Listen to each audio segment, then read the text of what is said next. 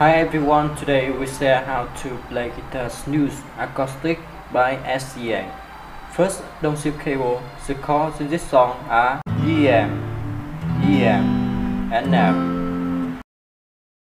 The intro and verse should play pay, pay, pay, book, pray, book, tap, book, book, tap, book, pay, book, tap, book, book, tap, book and to play along. E M E M F F.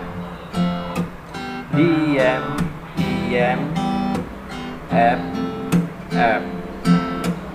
And so his instrument is the same way for track choose chorus and outro to play.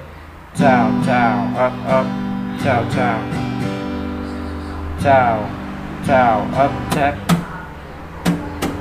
down, up, tap, up, up, tap, up, down, up, tap, up, up, tap, up.